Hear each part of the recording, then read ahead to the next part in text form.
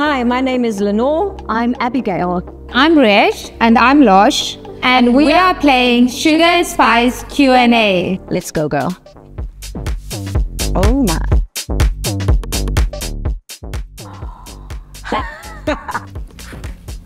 Oh.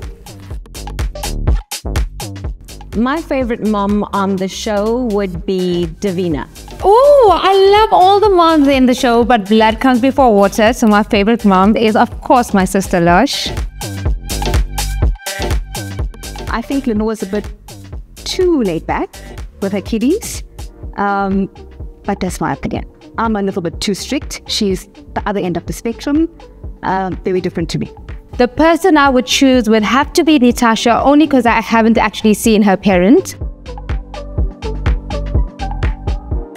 I don't think I would change anything about me as a mom. I think everything that I've been through has been a learning curve and character building and has made me into the mom that I am today. I think I wouldn't sweat the small stuff. I think, especially when my kids were younger, I was such a stress ball, and I realized they grow up anyway, so chill and enjoy the years with them.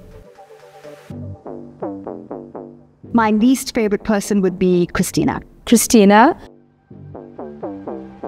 My favorite thing about being on the show is that I was able to share this amazing journey with my children. I live for my children, and being able to do this with my babies has been incredible and has meant the world to me. I loved every minute of being on the show. I love all the moms that I met. I think I've learned so much through this journey.